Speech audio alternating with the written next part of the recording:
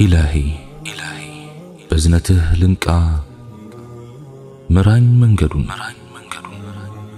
እንዳውቅህ አስችለኝ ለያዘው ገመዱ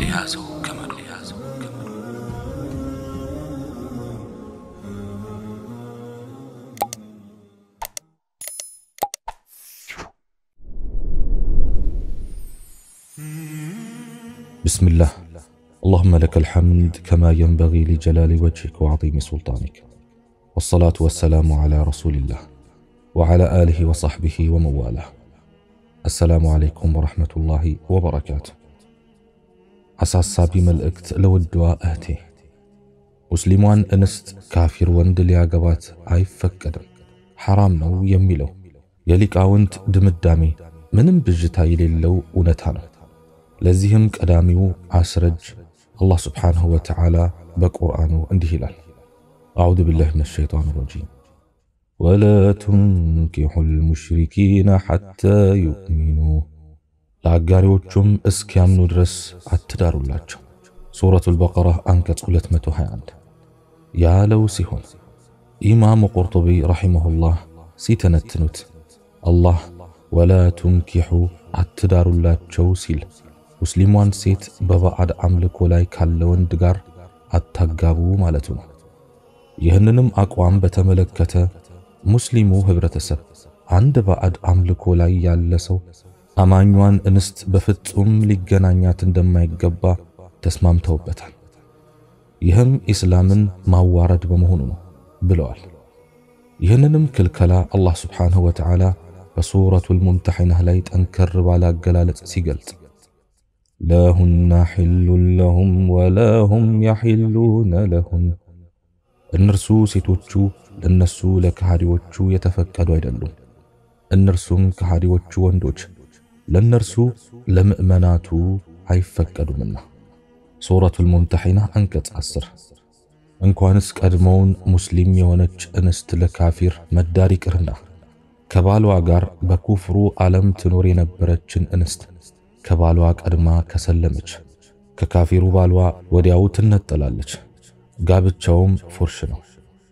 ኢማሙ ቡኻሪ ረሒመሁላህ ባዕድ አምልኮ ውስጥ የነበረችዋ እንስት ወደ ኢስላም ስትመለስ ማለትም ስትሰልም ወይም በሙስሊም አገር ውስጥ በቃል ኪዳን ስምምነት ከሚኖሩ ወይም ከሙስሊሞች ጋር በጦርነት ሁኔታ ባሉ ከሃዲያን ስር የነበረች ክርስቲያን ሴት ስትሰልም ያለውን ሁኔታ በተመለከተ ስላለው ደንብ ባስቀመጡበት የድርሳናቸው ክፍል እንዲህ ብለዋል።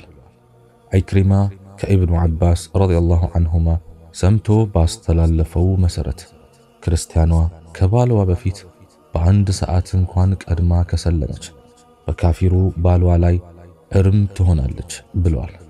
ሐሰንና ቀታዳህ ደግሞ ረሒመሁሙላህ እሳት አምላኪያንን ወይም መጁስይንን በተመለከተ እንዳሉት ባልና ሚስት በአንድ ላይ ከሰለሙ በትዳራቸው ይጸናሉ። እሷ ከባሏ ቀድማ ከሰለመችና እሱ አሻፈረኝ ካለ ግን ከሚስትነቱ ውጭ ትሆናለች። በእሷ ላይ መብት የለውምና ቡኻሪ ዘግበውታል። ለዚህም ምሳሌ የሚሆንን የነቢዩ ዓለይሂ ሰላቱ ወሰላም ሴት ልጅ ዘይነብ ረዲየላሁ ዐንሃ በጃሂልያው ዘመን አቢልዓስ ብን ረቢዕ ከተባለ ግለሰብ ተጋብታ ትኖር ነበር። ስትሰልም ግን በመካከላቸው የነበረው ኒካህ ፈረሰ። ወደ አባቷ ወደ ነቢዩ ዓለይሂ ሰላቱ ወሰላም ዘንድ ሄዳ መኖር ጀመረች። ባሏ እንደሰለመም ነቢዩ ዓለይሂ ሰላቱ ወሰላም ወደ ባሏ መለሷት። ቲርሚዚ፣ አቡ ዳውድ፣ ኢብኑ ማጃ ዘግበውታል።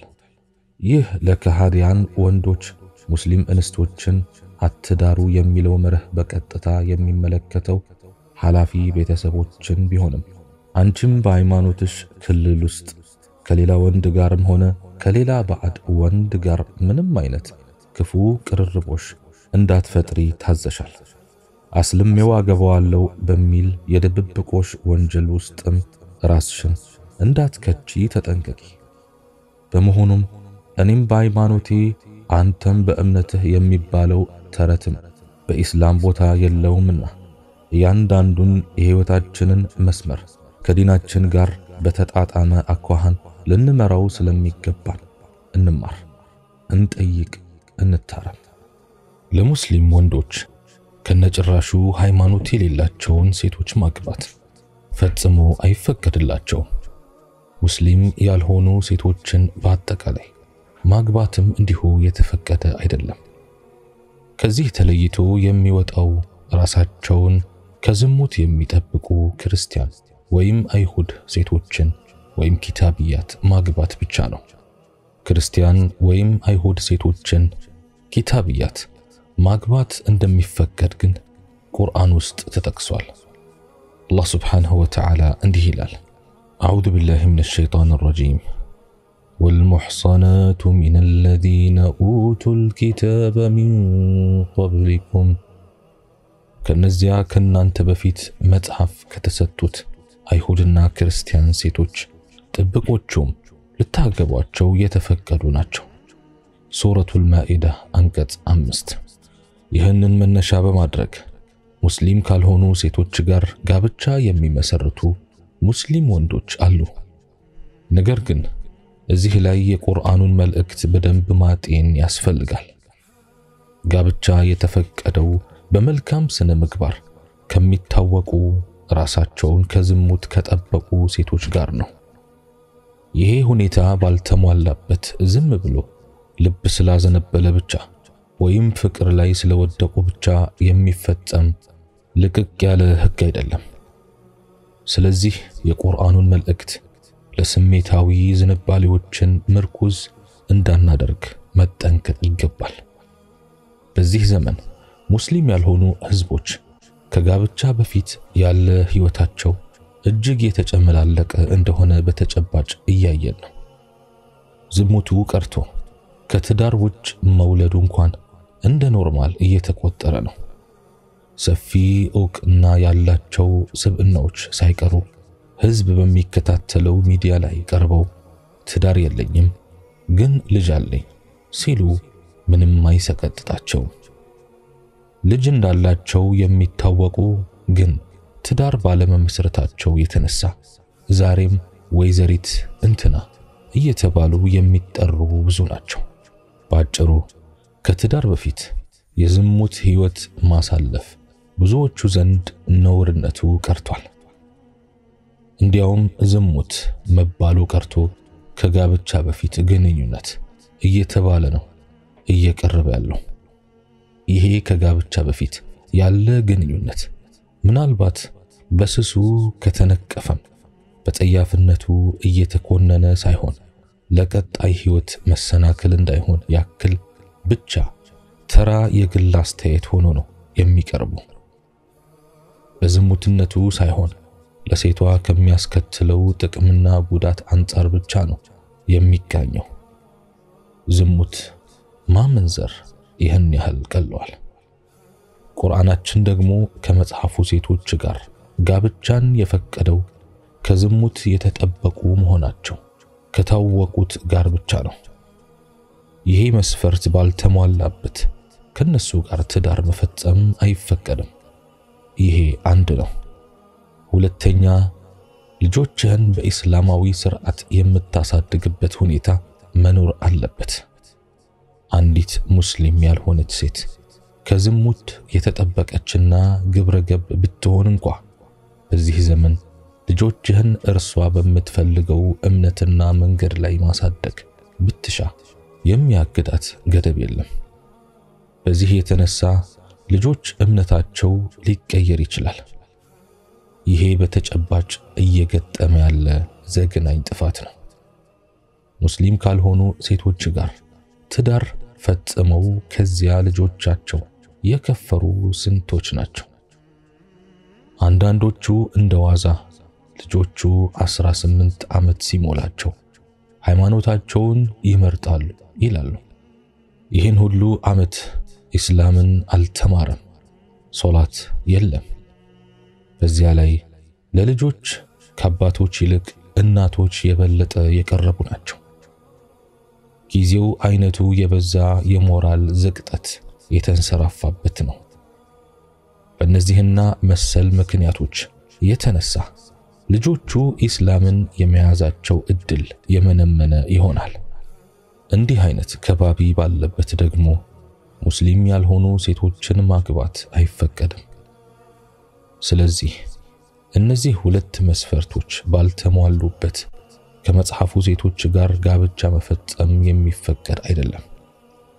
ታላቁ የዘመናችን የሐዲት ሊቅ ሼኽ ሙሐመድ ነስሩዲን አልአልባኒ ረሒመሁላህ እነዚህን ሁለት ቅድመ ሁኔታዎች በመጥቀስ በዚህ ዘመን ከክርስቲያን ሴቶች ጋር ጋብቻ መፈጸም እንደማይቻል አጥብቀው ያሳስባሉ።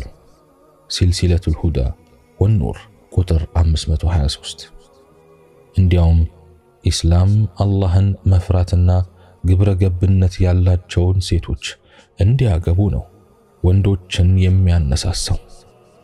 ይህንን ሕግ መጠበቅ ለራስም ለቤተሰብም ለሚወለዱ ልጆችም ለሙስሊሙ ማህበረሰብም ለኢስላምም ውለታ መዋል ነውና ተገቢውን ትኩረት ልንሰጠው ይገባል። ታላቁ የዘመናችን ዓሊም አልኢማም ኢብኑ ባዝ ረሒመሁላህ እዚህ ጉዳይ ተጠይቀው ከሰጡት ማብራሪያ መካከል የተወሰነውን ላጋራችሁ ወደድኩ። ከአይሁድና ከክርስትና እምነት ተከታይ የሆነችን ንጹሕ ወይም ጥብቅ ሴት ማግባት ለሙስሊም ወንድ ይፈቀድለታል። ነገር ግን እሷን ማግባቱ መተውንና በሙስሊሟ ሴት መብቃቃቱ እጅግ በጣም የተሻለና በላጩ ነው። ምክንያቱም እርሷን ማግባት ባልየውን ወደ እርሷ እምነት እንዲያዘነብል ሊያደርገው ይችላል። ልጆቿንም ወደ ክርስትና ወይም አይሁድ እንዲቀየሩ ሊደረግ ይችላል። ለዚህም ሲባል ከነቢዩ ዓለይሂ ሰላቱ ወሰላም ባልደረቦች መካከል ሁሉም ይህንን ጠልተውታል። ከዚህ መዘዝ ፈርተዋል። ከዚያ ውጭ ግን በተከበረው ቁርአን ማስረጃ መሰረት ፍቁድ ናቸው። ንጹሕ፣ ጥብቅ፣ ከመጥፎ ነገርና ከዝሙት የራቀች በመሆኗ የታወቀች ከሆነች ባሪያ ያልሆነች ጨዋ ከሆነች ሙስሊሟን ማግባት ቢችል እንኳ ይህችን ሴት ሊያገባት ይችላል። ነገር ግን ሙስሊሟን ሴት ማግባት የተሻለና የበለጠ ለእርሱም ሆነ ለልጆች ከፊትና ነፃ ለመሆንና ለመራቅ የተሻለ ነው። በአጭሩ ይህ ጉዳይ ምንም እንኳ የተፈቀደ ቢሆንም ከሶሐቦችም ጀምሮ አንጋፋ ዑለሞች ጭምር በበርካታ ምክንያቶች ጠልተውታል። ለምሳሌ በሐይድ ጊዜ እንደ ሙስሊም ሴት አትታጠብም፣ ከአጅነቢይ ወንድ አትርቅም፣ ቤተ ክርስቲያን ትመላለሳለች። ምናልባትም ስዕላ ስዕልና መሰል ኮተቶች እቤት ውስጥ ታመጣለች። በዓሏ ሲደርስ ማክበሩ አስቡት፣ የሚወለዱት ልጆች ላይ ሊፈጠር የሚችለውን አሉታዊ ጫና። አንዳንድ ሰዎች ቀስ በቀስ እናሰልማታለን ብለው አግብተው ከነልጆቻቸው የከፈሩ አሉ። ሲጀመር ትዳር የምትፈልግ ሙስሊም ሴት ጠፍታ ነው ይህችኛዋ የምታገባው? ሲቀጥል የተፈቀደችው ከዝሙትና ከመጥፎ ነገር የጸዳችዋ እንጂ ዝም ብላ ማንኛውም አይደለችም። ስለዚህ ምንም እንኳ ይሄ ነገር ቢፈቀድም ነቢያችን ዓለይሂ ሰላቱ ወሰላም ያዘዙን የዲን ባለቤቷን እንድናስቀድም ነው። እንኳን ከካፊሯ ከሙስሊሞቹ ሴቶች ራሱ የዲን ባለቤቷን ምረጥ ነው የተባል ነው። አላህ ስብሓንሁ ወተዓላ የተሻለውን ይስጠን። እኔም በተናገርኩት እናንተን በሰማችሁት የምንጠቀም ያድርገን። ሱብሓነከ አላሁመ ወቢሐምዲክ አሽሀዱ አን ላ ኢላሃ ኢላ አንተ አስተግፊሩከ ወአቱቡ ኢለይክ ወአኺሩ ደዕዋና አን አልሐምዱሊላሂ ረቢል ዓለሚን ወሰላሙ ዓለይኩም ወረሕመቱላሂ ተዓላ ወበረካቱሁ።